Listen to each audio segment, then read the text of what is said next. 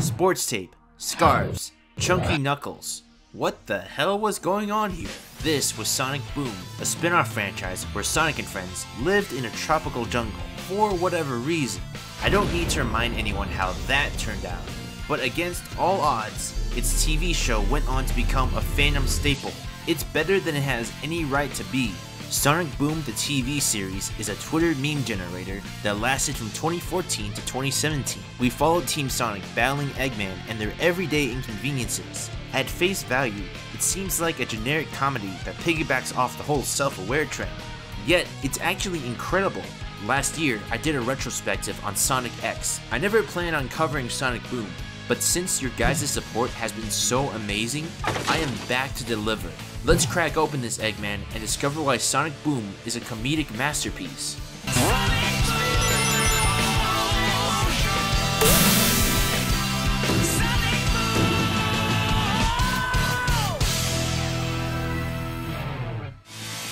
Let's get down to business. Sonic Boom is a slice of life action comedy.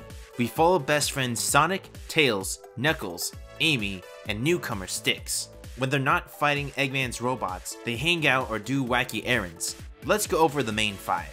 First, there's Tails, the brainy dork.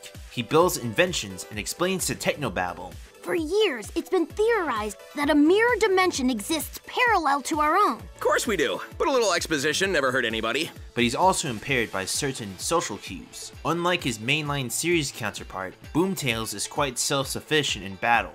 Then there's Knuckles, the dumb muscles type. He goes to gym frequently, but skips out on leg day. Who says I skip leg day? He's often full of himself, but also oblivious to many of the witty insults. Hey, Knux, you're famous! Cool. Who's the doofus with the trash can on his head? Then there's Amy, the organized and perfectionist type. She's level-headed and keeps the group morally grounded. She, low-key, has a crush on Sonic, but still respects his personal space. Mess with her, and you're in for a world of pain.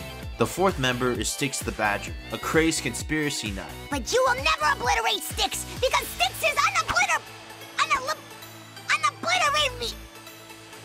He can't kill me. Don't pay attention to her. She's She's actually very nice. She counterbalances the team's ego with her cynicism and wild behavior. Sticks is an original character created specifically for Sonic Boom. Finally, there's Sonic. He's a sarcastic egomaniac, but has a heart for saving people. He's best pals with Knuckles and Tails. Unlike his one-note betrayal in the mainline games, Boom Sonic is wisecracking yet flawed. This is also Roger Craig Smith's best performance. I am Ezio. I am Batman. I am Chris Redfield. Sorry, as Sonic. You're a horrible roommate and nobody in this house likes you. A few months ago, Roger Craig Smith stepped down from voicing Sonic after 11 years of work. I used to criticize his earlier work for being forced and cringy, but in retrospect, it wasn't entirely his fault. Between Sonic Colors and now, the writing in those games tried so hard to be funny, they came off as desperate. Smith's only direction was to be cool and cocky. That worked for lines like, No copyright law in the universe is going to stop me. So what's the problem? He spoke with that same confident cadence all the time, even in scenes that needed a more solemn performance. I'm supposed to be the fastest, but I was too slow to save my buddy. By then, Sonic became annoying and stiff. What? Shut up! Also, Lost World and Forces failed at getting me emotionally invested in his character, assuming he had one to begin with. In Sonic Boom, Smith's performance is far more dynamic. Boom Sonic is prone to being petty, irritated, scared, and snapping at others. You know what I think is compassionate? Saving the village from Eggman, like every week. But do I get any props for that? No! I quit heroing! He's no longer a one-dimensional joke dispenser. He acts like an actual guy. Whenever Sonic's in a sour mood, I hear Smith having a blast in the booth. His line delivery is honestly some of the best stuff on the show. It's 2.30 in the afternoon. People are trying to sleep. I'm sad Roger Craig Smith stepped down. He's a talented guy, and the mainline games didn't do him justice. Ugh, like I was saying. The voice acting is great across the board. The whole cast conveys a wide range of emotion and wit. They share great chemistry and they fully commit to the more absurd moments. But Mike Pollock as Eggman? My god, he steals the show. There's a reason he's still doing Eggman after 18 years of service. Dr. Eggman aspires to be a supreme villain, but he's more like an irritated frenemy to Team Sonic. He's similar to Dr. Doofenshmirtz, an evil genius who can create amazing stuff, but ego gets the best of him. His ultimate goal is building a theme park over the village, but Team Sonic always stops him. In his free time, he struggles with mundane inconveniences and village bureaucracy. Despite him having no reason to oblige, he still obeys city laws. Well, sometimes. A big chunk of the comedy pairs the fantastical characters with mundane situations. For example, Eggman contends with homeowner association meetings, bad mail service, and having to crash at Sonic's home.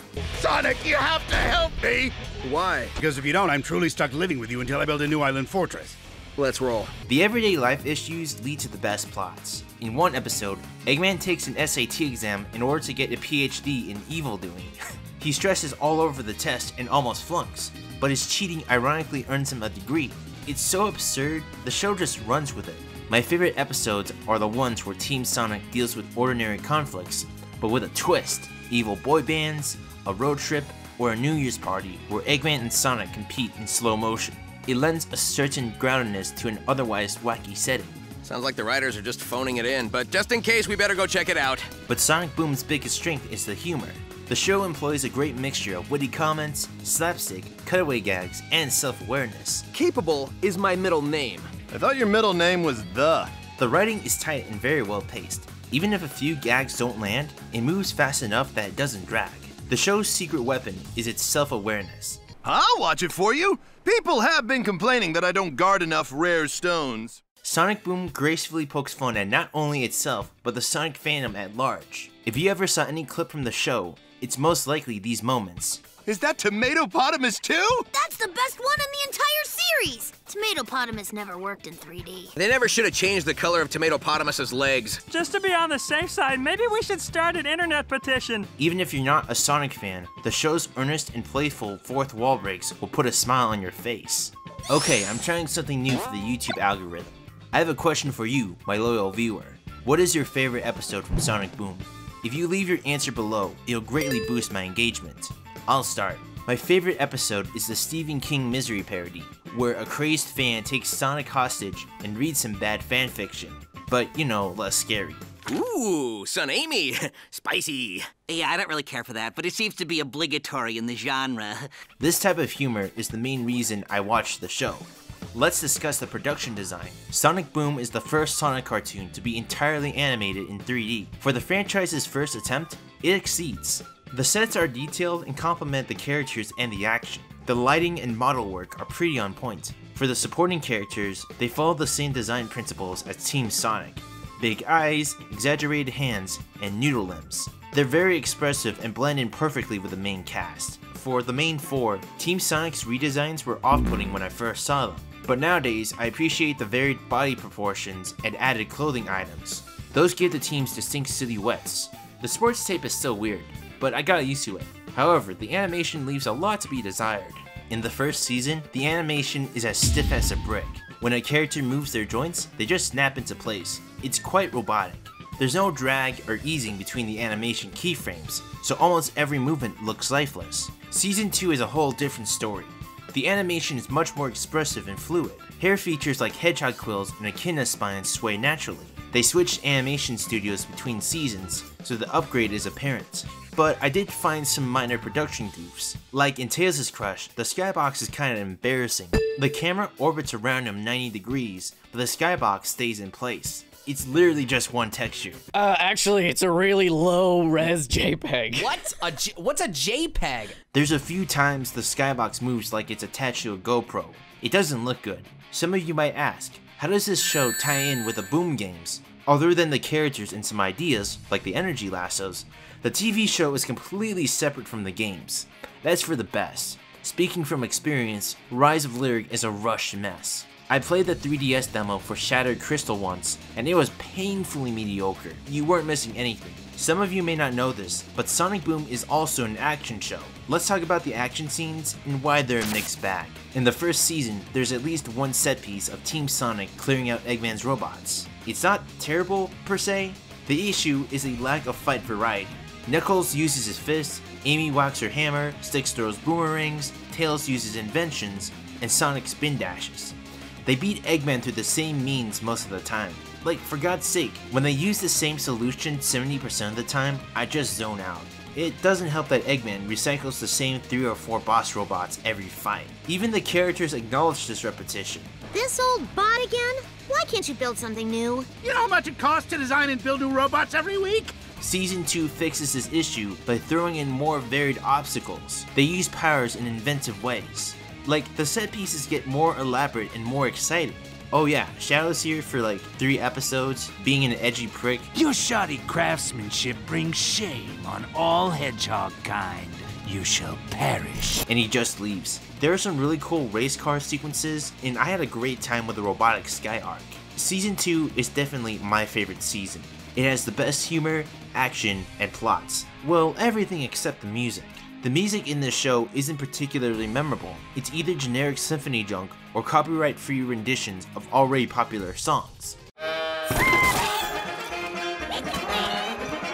Season 2 introduces aggressive rock tunes, but those are rare. The American intro has this generic battle track. You could replace it with any Crush 40 song and it'd fit just as well. You're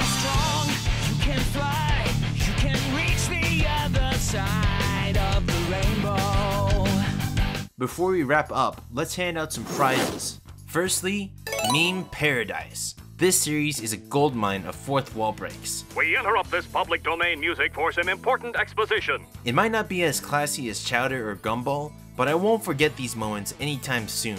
And lastly, Saving Grace.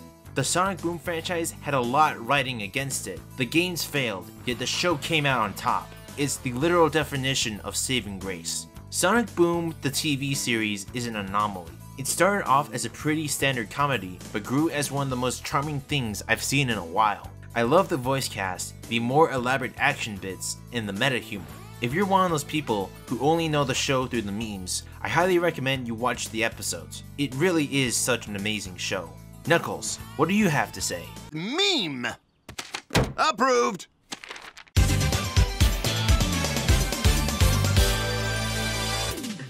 Baby! Thank you for watching. If this video reaches 100 likes, I'll cover another Sonic show. I'm in the process of moving right now, so my schedule's pretty tight. Otherwise, I'll see you soon. No hedgehogs were harmed in the making of this video.